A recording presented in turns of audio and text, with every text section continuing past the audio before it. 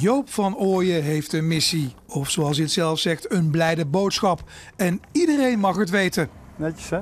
Hij komt voor zijn mening uit en dat durven de meesten niet meer. Ja, ieder zijn eigen mening. Iedereen mag voor zijn geloof uitkomen. Meestal is het negatief, maar uh, God heeft een paar goede gestuurd, dat merk je wel. Maar Joop's liefde voor Jezus hoort niet thuis op de verkiezingsborden, zegt de gemeente Werkendam.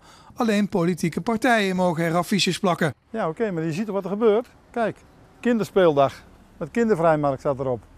Het is hetzelfde dorp. Praat niemand over.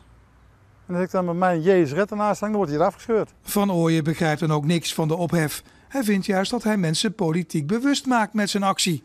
Maar ik wijs ze wel op de, de, de plicht dat ze moeten kiezen. Niet kiezen, zo kiezen.